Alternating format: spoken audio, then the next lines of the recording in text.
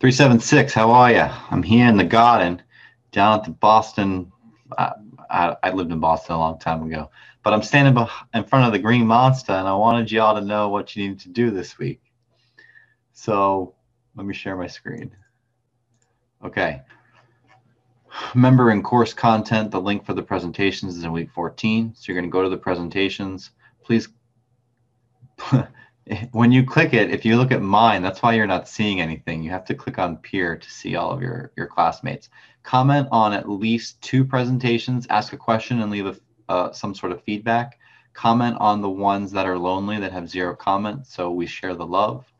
And your final exam will appear in course content at the bottom, probably on Friday. It's three or four essay questions. I can't remember. It's pretty straightforward. Open notes, not open friends. You got this.